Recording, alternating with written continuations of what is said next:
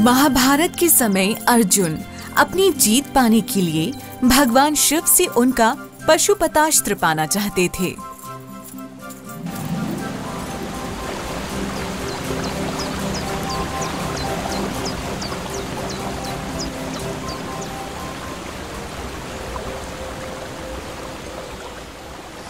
वो हनुमान से मिले जो अब बूढ़े हो गए थे। और एक तालाब के पास पेड़ के नीचे बैठे राम नाम जप रहे थे। प्रणाम प्रभु। आपके अंदर से ये जो ऊर्जा निकल रही है, उससे मुझे लगता है कि आप कोई और नहीं, आप हनुमान हैं, आप चिरंजीवी हैं।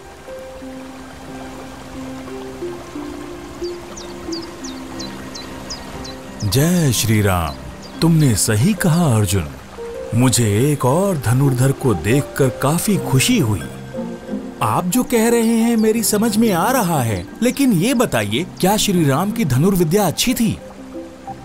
तुम ये सवाल क्यों पूछ रहे हो? अगर श्री राम धनुर्विद्या में निपुण थे तो वो अपने बाणों से ही पुल बना सकते थे, ना कि वानरों से पत्थरों द्वारा पुल बनवाते। ये काम तो वो आसानी से कर सकते थे ना?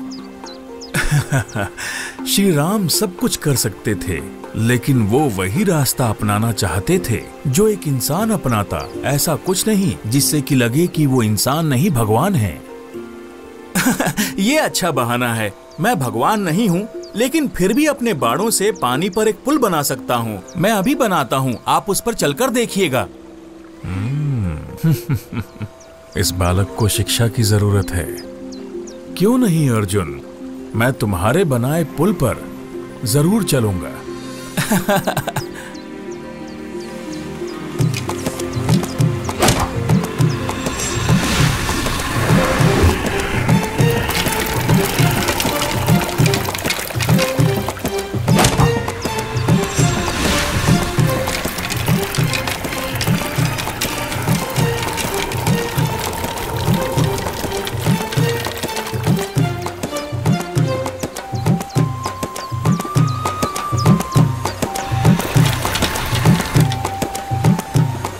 प्रभु, अब तो आपको मेरी बातों पर विश्वास हो गया होगा ना? कृपया आप अपना सीधा पैर आगे कीजिए और मेरे बनाए इस पुल पर आप चलकर देखिए।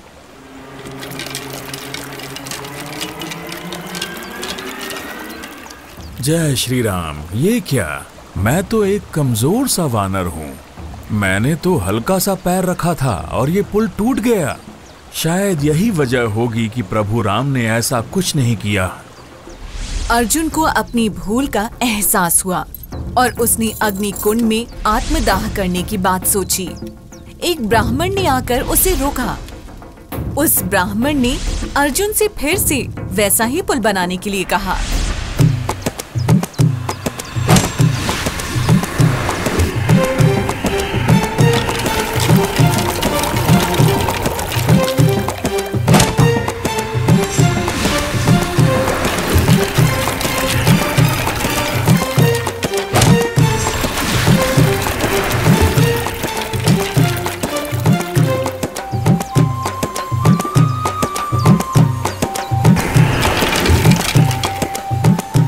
बाणों का पुल फिर से बन गया।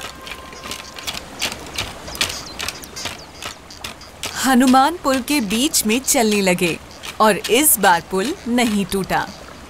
हनुमान ने नीचे देखा तो वो हैरान रह गए। उन्होंने देखा कि एक बड़े से कछुए ने पुल को अपनी पीठ का सहारा दिया हुआ है।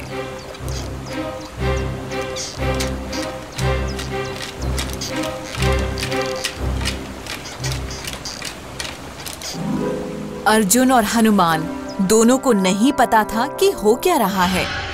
तभी कृष्ण प्रकट हुए। अर्जुन मैं एक ब्राह्मण का भेष बदल कर आया था ताकि तुम्हारे कौशल को बचा सकूँ। इससे मानव जाति को फ़ायदा होगा। धन्यवाद भगवान कृष्ण। आपने ना सिर्फ़ मेरे कौशल को बचाया है बल्कि आपने मेरे घमंड को भी तोड़ दिया है।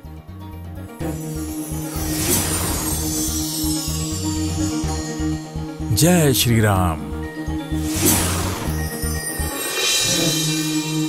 भगवान, मेरी गलतियों को माफ़ कर दीजिए और मुझे आशीर्वाद दीजिए। अर्जुन, मैं तुम्हारी विद्या से बहुत प्रभावित हूँ। महाभारत युद्ध में मैं तुम्हारे रथ के ध्वज में विराजूँगा और तुम्हारी सफलता सबसे पहले मैं ही देखूँगा। इससे अच्छा वरदान मुझे नहीं मिल सकता है। प्रणाम, भगवान।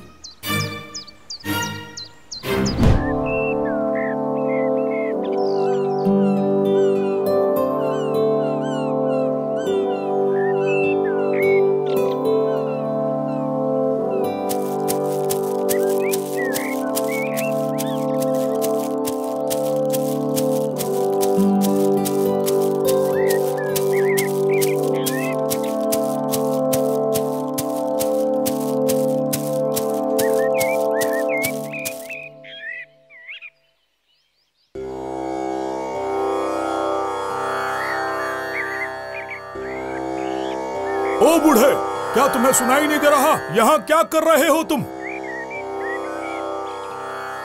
अपनी पूछ हटाओ जल्दी करो। मुझे यहाँ से आगे जाना है। मुझे बहुत सारा काम करना है।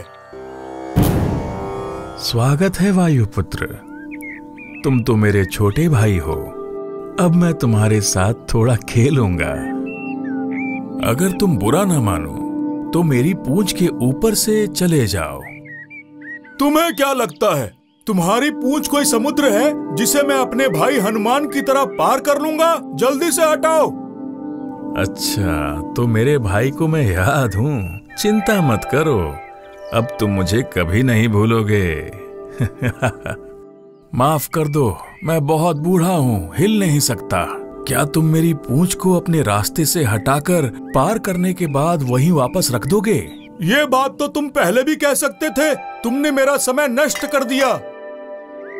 ये कहकर भीम नीचे झुके और हनुमान की पूंछ को एक उंगली से उठाने की कोशिश करने लगे।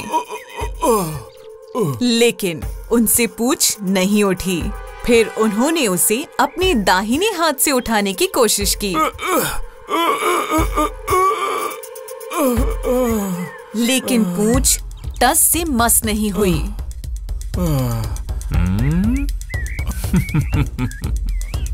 फिर उन्होंने अपने दोनों हाथों से पूंछ को उठाने की कोशिश की। अपनी पूरी ताकत लगा दी उसे उठाने में। लेकिन पूंछ फिर भी नहीं उठी। आखिरकार वो उसे थोड़ी सी उठा पाए। लेकिन पूंछ उनके हाथों से फिसल गई और भीम नीचे गिर गए।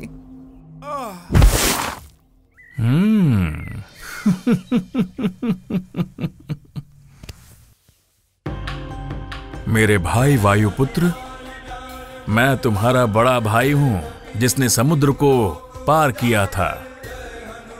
ये मैंने क्या कर दिया? मैं कितना ना समझ हूँ कि मैं आपको पहचान नहीं पाया कि आप हनुमान हैं। लेकिन ये मेरे लिए जीवन का सबसे अच्छा दिन है। आज मुझे आपका विश्व रूप देखने को मिला। इस नासमझी के लिए मुझे क्षमा करें।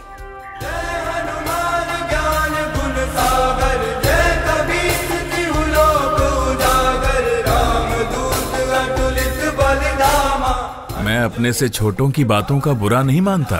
मुझे उनके साथ खेलना अच्छा लगता है। मैंने अपने भाई भीम के साथ भी तो यही किया। आप कितने महान हैं। मुझे आशीर्वाद दें।